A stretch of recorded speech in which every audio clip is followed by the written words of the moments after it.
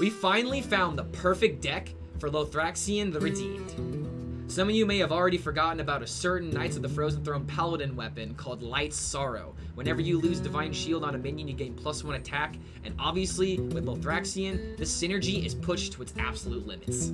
The rest of this deck is filled with various amounts of ways to be able to throw down recruits such as Stand Against Darkness, Air Raid, and Day at the Darkmoon Faire. The whole point of this deck is just to throw out as many as possible, and if you're lucky enough to have Pyromancer in hand while you're doing these combos, you can immediately get rid of the Divine Shield in order to provide provide insane amounts of burst immediately. If you guys are interested in this deck yourself, feel free to check out the deck code in the uh, comments below. I also stream whenever I can on twitch.tv slash Clark Hellscream, so if you'd like to see these combos live, that is the best place to be able to, to watch that content. And as always, don't forget to like and subscribe if you enjoy these videos. Guys enjoy the clips, see you for the next video. This is literally perfect.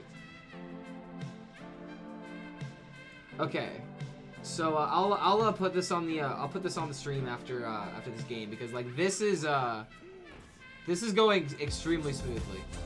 We just need our opponent to like not make this minion ridiculously big. Because as soon as we can play this and maintain our uh, our curve, we're like in the clear. This also corrupts this. Dude, let's go. We have the buff. Is it in-game or in tracker? Wait, what do you mean is it in-game or in tracker? He's some of the new ways added from the Shadowlands and he's uh, something of a tree person? I guess trees would sound like that. Kurpura correct. Oh my god, stop making this ridiculous. Well, I mean, we have to go for it. Next turn, we have a full board of, uh, well, not a full board, but four 1-1 Divine Shield taunt recruits. And then we can even make more of them with this. The weapon starts getting ridiculously big, and then I can just play Libram of Hope.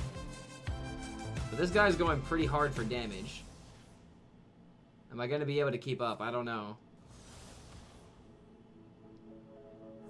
Is it? Oh, the, the EXP. Sorry, I keep forgetting that you keep asking about the tracker.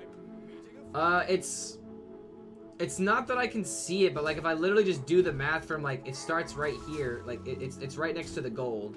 It tells you how much experience you have, and if you just do the uh, do the math, you're able to uh, to find out. Honestly, I should do this. Like this is already kind of difficult to deal with, and then this weapon becomes massive, massively thick. By the way, we're just gonna sit, and I'm like even if he gets rid of like this with Con another consume magic. We're not dead. We could play this for healing. I actually think we start stabilizing now. We have the really thick Light Sorrow. And he's been pumping this up the entire game. I was kind of worried about it. But now it's actually not a threat. Like, boop, boop, boop, boop. Hits me for 6, sure. But then I heal back up and then get an 8-8 with Taunt and also Divine Shield, which synergizes even more with the weapon. Fun fact.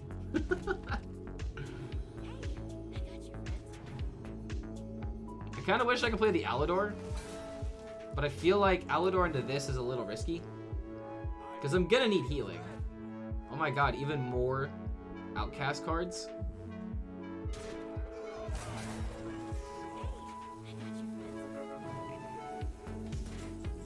Okay, well, ooh. Ooh, if I had Pyro right now, this would be insane. So let's see. These have essentially 5 attack. I could split it here and here. Play Libram of Hope. Get an 8-8. This is still kind of a problem. Do I knock it? I, maybe I should knock this out. That's actually a good move. I can knock that out because I have just enough attack to deal with it.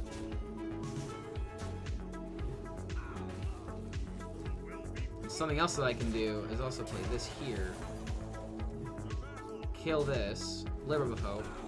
And now we're going to have a 9-3 weapon after he attacks this.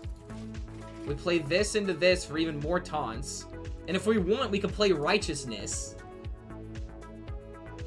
let him get it to 10 attack? Exactly, dude. Like, I don't even care. Like, we killed his minion. He's gonna have to rebuild up the board. And even with, like, a consume magic, like, he doesn't have that much attack on the field right now. I'm just kind of hoping he doesn't have, like, an AoE. No AoE, and we're, like, in the clear. Eye Beam. Oh, dude, he's desperate for options. He's using a lot of, uh, a lot of resources here. Oh, delicious. Just enough to get through. Well, I'm sorry, buddy. Like, just enough is not going to be, uh... it's not going to be good enough here. Check out all of this Divine Shield.